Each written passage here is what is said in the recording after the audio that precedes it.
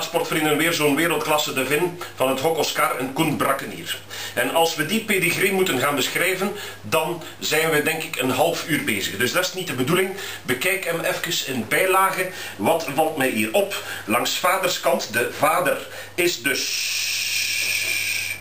de geschelpte Tik of de Witpen 679.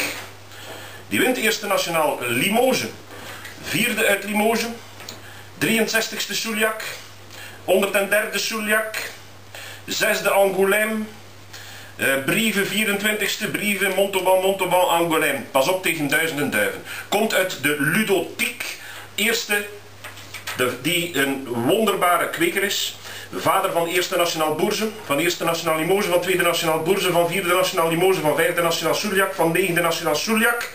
Dus hier kan ik meer dan 100% garantie geven, sportvrienden.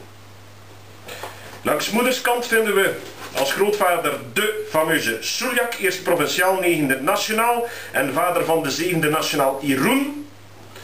En broer van de eerste nationaal Boerze, eerste nationaal Limoges, tweede nationaal Boerze, vierde nationaal Limoges. Alsjeblieft sportvrienden Oscar en Koen Brakkenier. Ook hier gaan we geen seconde mogen twijfelen. Hier ga ik kandidaten op hebben. Ongetwijfeld.